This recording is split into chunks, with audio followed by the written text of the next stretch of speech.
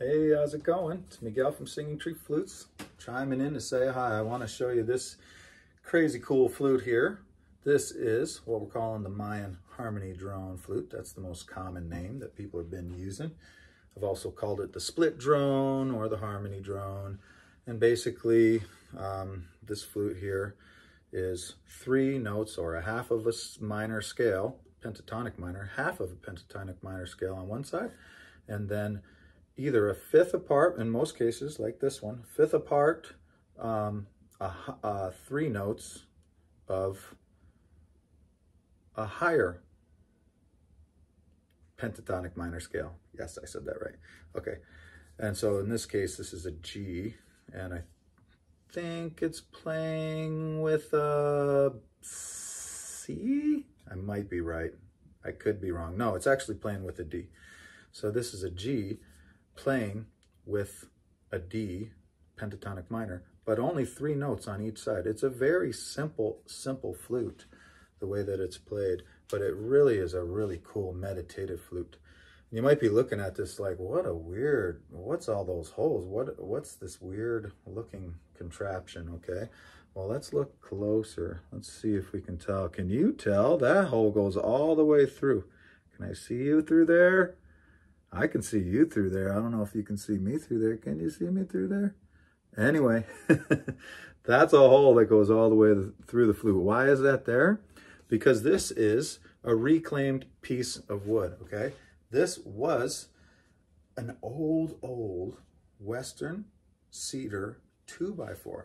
And so most of the time when you see Western cedar, you're going to see that it's this light brown. It could go into dark brown colors and even some blonde colors. That's the typical Western cedar. This one was an old, old weathered, weathered piece, and it has this really unique kind of gray color to it. And it actually was a piece of lumber that was used previously to build something. I don't know what it was.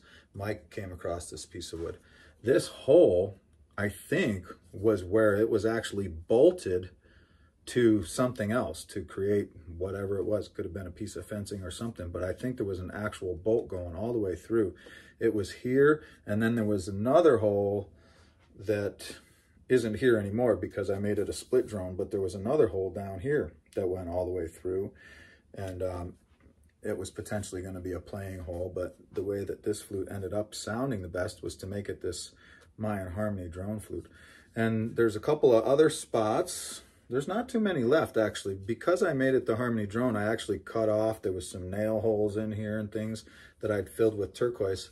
But after tuning it, I realized, gosh, this is sounding better um, just as this Harmony drone. So I cut that side off.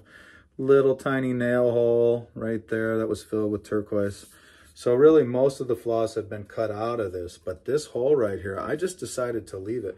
And that hole could be really cool for some decoration. My thought was, if I had them, I used to carry them a lot when I was young, um, turquoise or gemstone discs, right? You could take a gemstone disc and you put it over this hole and you run leather through it and you'd have to have some other kind of bead or I used to use crystals and um, strap the leather around it, lace it through the disc and that would sit right here and then the lacing would come through the bottom and you'd have like this little leather design. You could use that in many ways to like, you know, tie a piece of leather around it for added decoration or whatever. I just thought it was cool, so I just left it and it and it was um, right perfectly between the two chambers. So that's what that is. That is not a playing hole.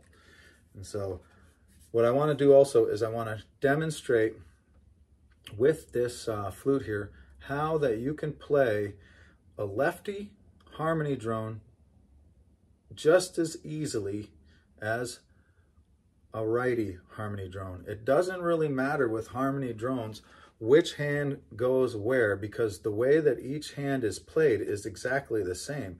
So there is really no difference for people who are used to playing with the right hand on top. There's really no difference um, with the harmony drone, which hand goes where because your fingers are doing the same thing.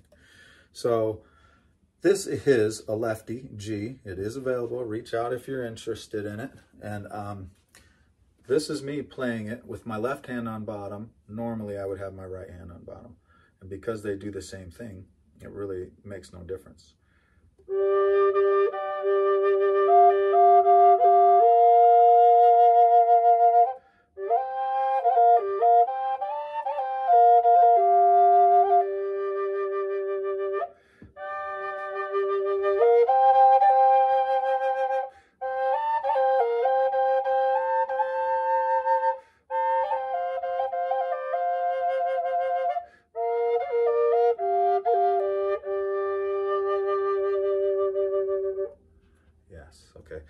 Also want to demonstrate to you that it's if you're more comfortable with your right hand on the bottom, and so this is ideal, I guess what I'm saying, no matter which hand is on bottom, this will work for you.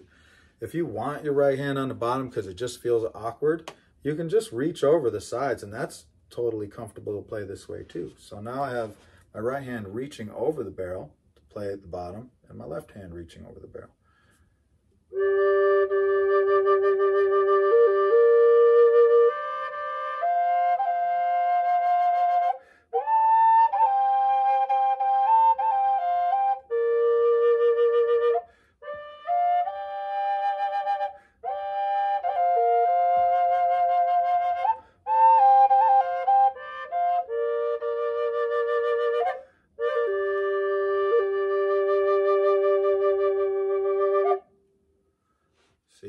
Pretty sweet, huh?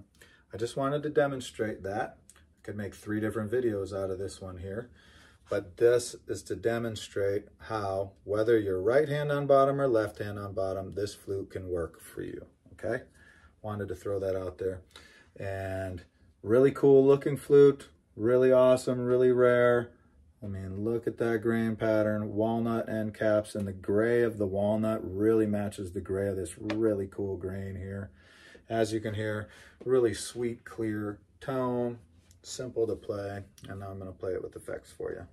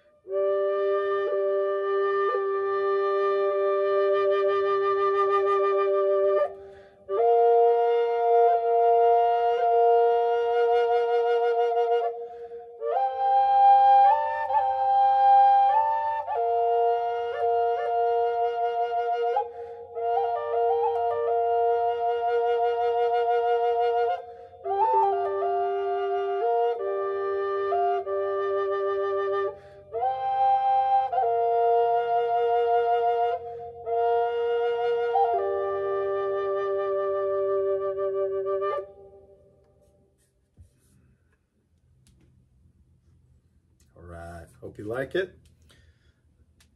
Yep, this one is available now. So check the website or check the description below and reach out to us if you're interested in this awesome flute. Okay, see ya.